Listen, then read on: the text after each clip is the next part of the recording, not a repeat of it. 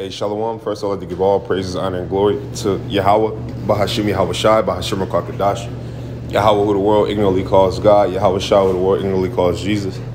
I want to give double honors to the apostles of Great Millstone have started me this truth. I want to give you peace and blessings to the I came across the four corners of the earth who teach this truth for us like to do. So it's going to be a quick video. Lord, the video is edifying, Lord, I can get something from this video. Um, this is Jeremiah 51. I want to do a quick correction.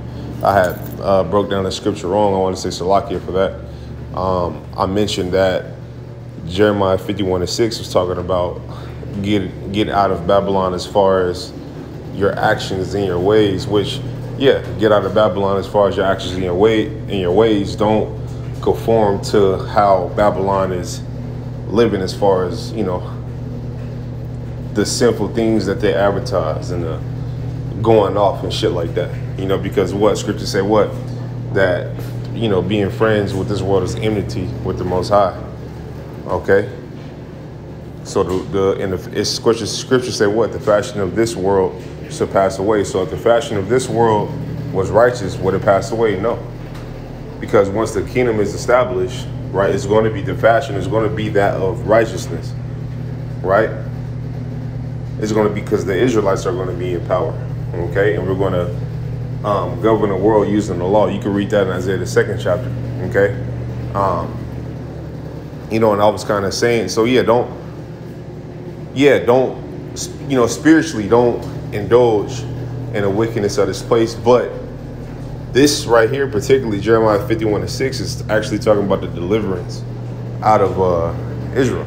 Okay, and I had uh, just want to make a quick correction, and I grab a couple precepts because we understand that um, the, the deliverance is going to be from the North Country, which is America, which is aka Babylon, aka Sodom, aka Egypt, aka Bozrah, right? It said I say Bozrah because when you go to Isaiah 63 and 1, it tells you about Yahweh Shai coming from, you know, who's this that come from? Uh, matter of fact, I'll just grab it real quick.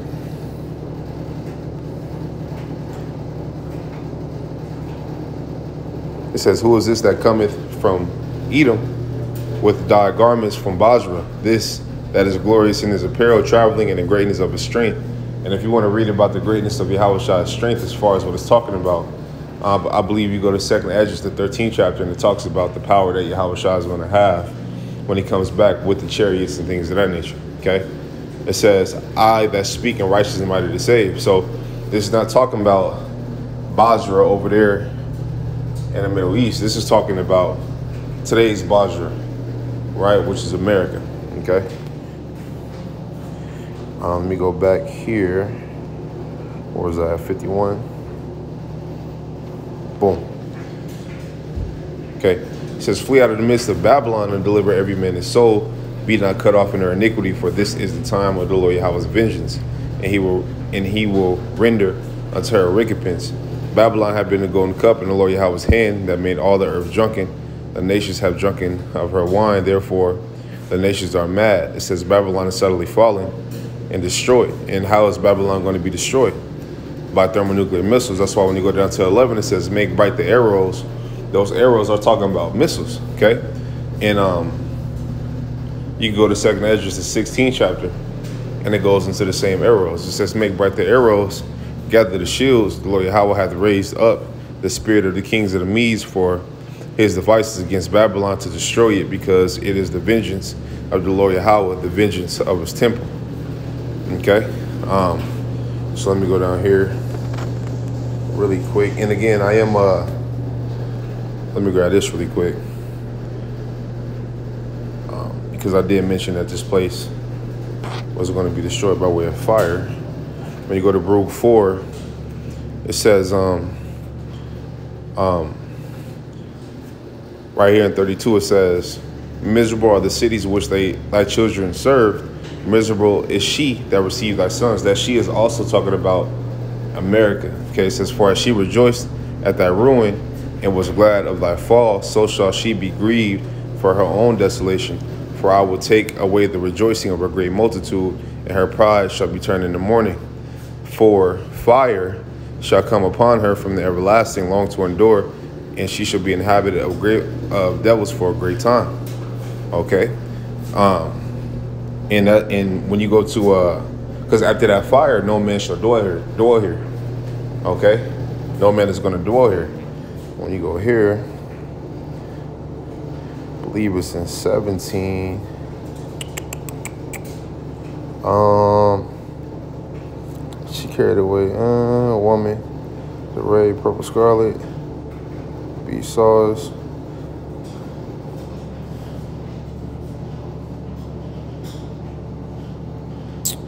Uh, I mean, it's something in there I could get, but I wanna, I'm looking for a particular one. Yeah, yeah, yeah. This is a Revelations 18 and 7. It says, How much she has glorified herself and lived deliciously, so much torment and sorrow give her.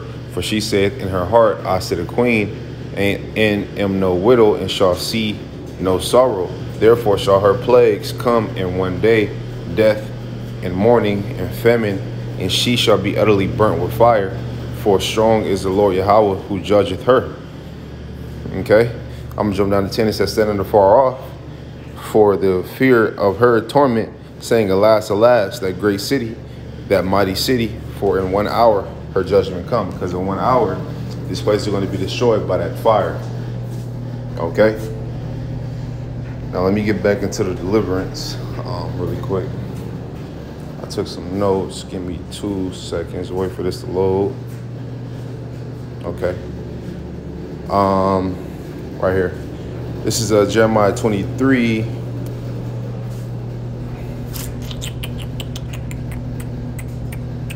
Uh, let me get to the point, man. It says uh, Jeremiah 23,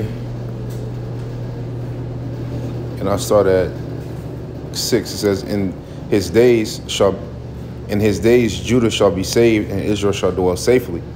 And this is the name whereby he shall be called the Lord our righteousness." Right?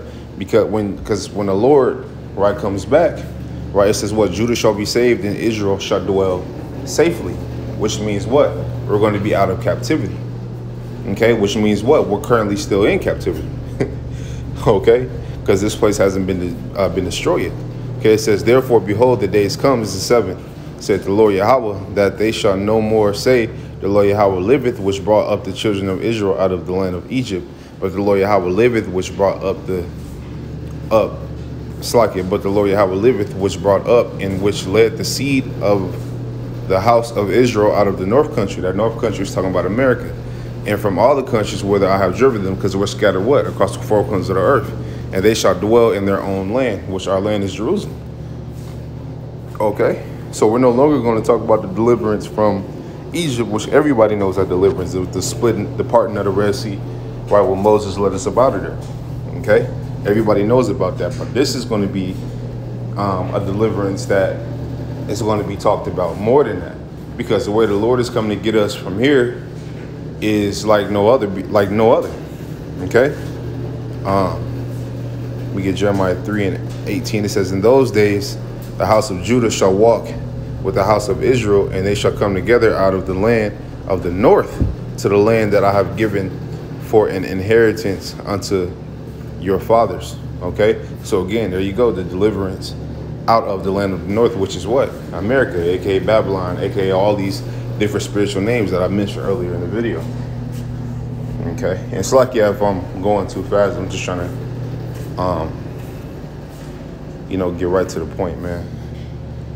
Uh, let me get that news off. Micah 4 and 10. It says, um, that's a lot of meat on here. Um, it says, Be in pain and labor to bring forth, O daughter of Zion, like a woman in travail. For now shalt thou go forth out of the city, and thou shalt dwell in a field. Okay, and when you go into that, the field means the, the world. Okay, it says, um, and um, you could you you could prove that with the uh, wheat and the tare parable. Okay, it's that it says, and thou shalt go even to Babylon, there shalt thou be delivered. Okay, so what? We were we were led into captivity here in Babylon. Okay, but guess what? This is the place where we're going to be delivered. Okay, it says there the Lord Yahweh shall redeem thee from the hand of thine enemies. Okay, thine enemies what? Are the heathen. Okay, let me grab that really quick. Um, what was that? 84 83. It's 83. It says, For lo, thine enemies make it a tumult, and they that hate thee have lifted up the head. They have taken crafty counsel against thy people and consulted against thy hidden ones. They have said, Come, let us cut them off from being a nation, that the name of Israel may be no more remembrance. It says, For they have consulted together with one consent. They are confederate against thee, and it, and it names the heathen. Okay? Edom, Ishmaelites, Moab, it, it names the heathen. Okay? But what? They're confederate against us. They all had a hand in our captivity. Right? Why? Because we went off. We didn't follow the law, statutes, and commandments. The Lord gave us the law, statutes, and commandments to follow. We didn't do that. So what? We were led into captivity under our heathen. Now, does that mean the Lord care about the heathen? Does that mean the Lord? No, the Lord doesn't. Because when you go to, I'll go to it really quick. Um, where is it at? Six and fifty-six. Because a lot of people, well, you guys are racist. You guys are this. Of course, the Lord is racist. Okay, and I don't, I don't disagree with racism. I don't have any problem with racism. I, I think my people, which is the so-called black man, so-called Native American man, and so-called Mexican man, are the best people that walk, face of the earth. Okay, I mean, what would the world be without Israelites? Okay, it's, you know. Second Ezra 6 and 56, it says, As for the other people which also come from Adam, thou hast said that they are nothing. Okay, but matter of fact, let me start up. It says 54, it says, And after these, Adam also, whom thou madest Lord of all thy creatures, of him come we all, and the people also whom thou hast chosen, which the Lord chosen who? Israel. Okay, it says, I'm gonna jump down. Well, I'll go to 55. It says, All this have I spoken before thee, O Lord, because thou madest the world for our sakes.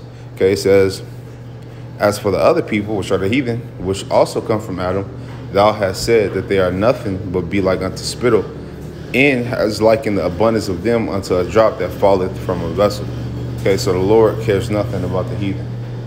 Okay, so yeah, I mean, I just want to correct myself on that. You know, the Lord is, you know, He's going to redeem Israel, He's going to redeem the elect from all four corners of the earth. But that main big deliverance that the scriptures go into is deliverance from America, man.